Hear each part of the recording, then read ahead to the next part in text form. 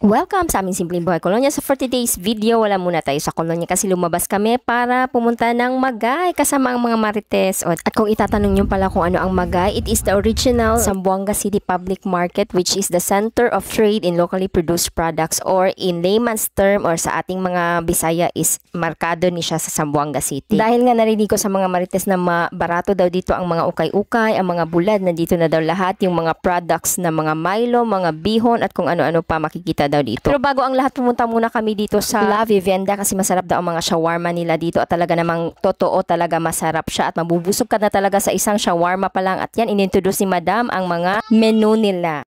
20. Mahalang talent siya. Kani ako to ako bar.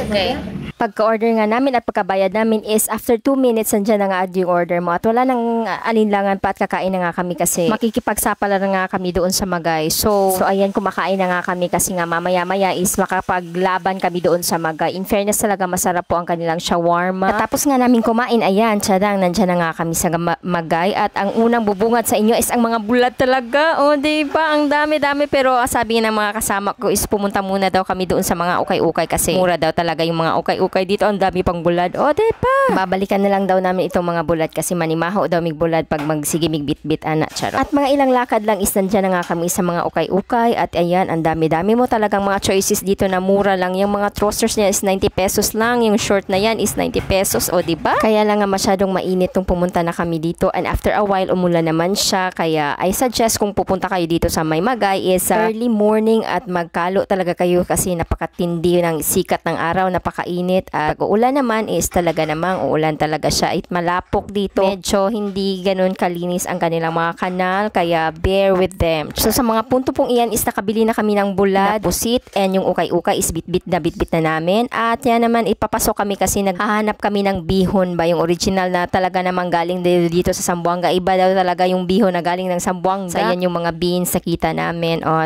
ba? At papasok talaga yung pinuntahan namin kasi nandun daw yung mga bihon. And ilang saglit na ng mga lakaran is nakita na namin yung tindahan ng bihon pero ang kanyang tinda isang kilo. Sabi ko masyado namang marami at masyadong mahal.